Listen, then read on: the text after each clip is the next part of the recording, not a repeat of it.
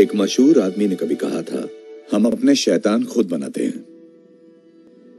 किसने कहा ये? इसका मतलब क्या है? कोई फ़र्क नहीं पड़ता। मैंने कहा क्योंकि उसने कहा। वो मशहूर था। तो अब ये बात दो मशहूर लोगों ने कह दी है।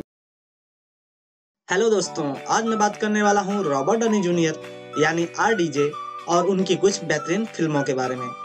जिनमें से कुछ तो हिंदी में रिलीज़ हुई और कुछ नहीं। वैसे तो ज़्यादातर लोग आरडीजे को आयरन मैन मूवी से ही जानते हैं जिनमें उन्होंने अरबपति टोनी स्टार्क का रोल निभाया है जो कि कहीं न कहीं उनकी पर्सनालिटी से भी मैच करता है।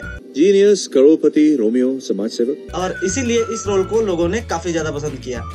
इसी रोल को लेकर आरडीजे ने मार्वल की आठ फ़िल्मों में भी काम किया है लेकिन एमसीयू के अलावा भी आरडीजे ने और भी बेहतरीन फ़िल्मों में काम किया है लेकिन इनमें से कई मूवी तो हिंदी में रिलीज़ ही नहीं हुई। तो मैं बात करूँगा पहले उन पाँच बेहतरीन फ़िल्मों के बारे में जो कि हिंदी में रिलीज़ हुई हैं। जिसमें नंबर पाँच पे रखा है मैंने 2007 में आई फ़िल्म जॉटिक को, जिसमें आपको क्राइम, ड्रामा और मिस्ट्री देखने को मिलेगा। इस फ़िल्म में हमें आरडीजे एक रिपोर्टर के रोल में दिखाई दिए और उनके साथ दिखाई दिए मार्क रिफोलो यानी कि हमारे हल्क, जो कि एक इन्वेस्टिगेटर के रोल में है। ये पूरी फ़िल्म एक सीरियल किलर की पहचान करने के ऊपर बेस है। और इसीलिए अगर आपको मिस्ट्री और ड्रामा पसंद नहीं है तो हो सकता है आपको ये फ़िल्म थोड़ी बोरिंग लग सकती है। नंबर चार पर बात करें, हम 2005 में रिलीज़ हुई किस किस बैंग बैंग। इस फ़िल्म में आपको क्राइम और एक्शन के साथ कॉमेडी भी देखने को मिलेगी। इस फ़िल्म में आरडीजे ने हैरी लॉकहार्ट का रोल किया है, जो कि एक चोर होता है। और पुलिस से भागते हुए अचानक वो एक ऑडिशन में पहुँच जाता है, जहाँ उसे एक जासूस के रोल के लिए चुन भी लिया जाता है। मैंने उससे कहा बंदूक फेंक दे! मैंने उससे कहा था तू घर पे रहे ये सब तुझसे जमेगा नहीं. वो आंटी भी तो एकदम हटेली थी। उसने मेरी बात सुनी नहीं और गोली चला दी। कब मैं इस तरह की एक्टिंग की बात कर रहा था पूरे फील के साथ। बाद में अपनी क्रश और एक प्राइवेट जासूस की मदद से वो एक मर्डर मिस्ट्री को भी सुलझाता है। अगर कोई तुम्हें छूता है तो ये बुरी बात नहीं ये चलता है? तुम किस तरह की बातें करती हो हा? तीसरे नंबर पे है 2010 में आई फ़िल्म ड्यू डेट। ये फ़िल्म एक एडवेंचर कॉमेडी ड्रामा है जिसमें आरडीजे ने पीटर हाईमैन का रोल किया है। जो कि पहली बार बाप बनने वाला होता है और इसलिए वो अटलांटा से घर जाने के लिए अपनी फ़्लाइट पकड़ता है। लेकिन रास्ते में उसकी मुलाकात होती है इथन ट्रेम्बले से जिसका रोल किया है जैक गिले फैंकिस ने जो कि हमें हैंगओवर फ़िल्म में पहले दिख चुके हैं जिससे मिलने के बाद पीटर की पूरी जर्नी चेंज हो जाती है। आपके हाथ में जो भी है नीचे रख दीजिए। ये सिर्फ़ मोबाइल फ़ोन है। नीचे रख दीजिए कहा ना क्या करोगे तुम मुझे गोली मारोगे हाँ बोलो। नंबर टू पे है फ़िल्म ट्रॉपिक थंडर जो कि 2008 में रिलीज़ हुई।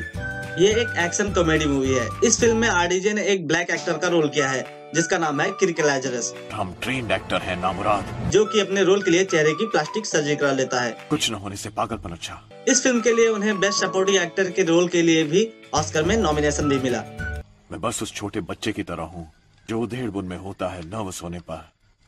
नंबर वन पे रखा है मैंने सर लाख होम्स मूवी को, जो कि 2009 में रिलीज़ हुई। क्योंकि अगर आपको टोनी स्टार्क के रोल के अलावा आरडीजे का कोई और रोल पसंद आएगा तो यही है। ये फ़िल्म क्राइम और मिस्ट्री से भरपूर है। इस फ़िल्म में आरडीजे ने सर लाख होम्स का किरदार निभाया है, जो कि एक जासूस है। इस फ़िल्म के लिए उन्हें बेस्ट कॉमेडी और म्यूज़िक एक्टर के लिए गोल्डन ग्लोबल अवार्ड से भी नवाजा गया। बचा कर रखना तुम्हारे लिए उपहार।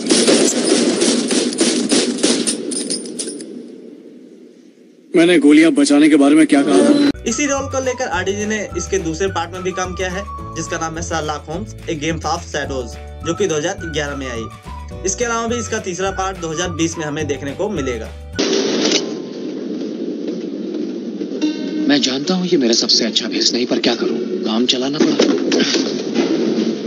My God! कुछ और मूवी की बात करें जो कि हिंदी में रिलीज़ हुई तो उसमें है उन्नीस सौ सत्तानवे में आई film two girls a guy उन्नीस सौ अठानवे में आई फ़िल्म यूएस मार्शल्स और 2003 में आई फ़िल्म गौतिका अच्छी बात है। मेरी मेहनत बच गई इसके अलावा अगर हम उन फ़िल्मों की बात करें जो कि हिंदी में रिलीज़ नहीं हुई लेकिन वो आरडीजे की बेस्ट फ़िल्म है तो उसमें सबसे पहला नाम आता है चैपलिन का जो कि उन्नीस सौ बानवे में आई। जिसके लिए उन्हें पहला ऑस्कर नॉमिनेशन मिला था। इसके बाद लेस देन ज़ीरो जो कि उन्नीस सौ सतासी में आई द सिंगिंग डिटेक्टिव 2003 में आई शॉर्टकट्स उन्नीस में आई नेचुरल वॉर्म किरण उन्नीस सौ चौरानवे में आई वंडर बॉयज़ 2000 में आई और फ़िल्म द जज जो कि 2014 में रिलीज़ हुई।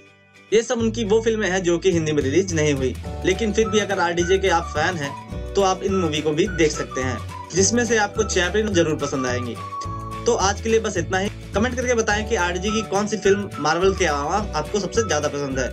मिलते हैं अपने नेक्स्ट वीडियो में, जिसमें हम बात करेंगे अपने किसी और फेवरेट एक्टर की फ़िल्मों के बारे में। तब तक के लिए गुड बाय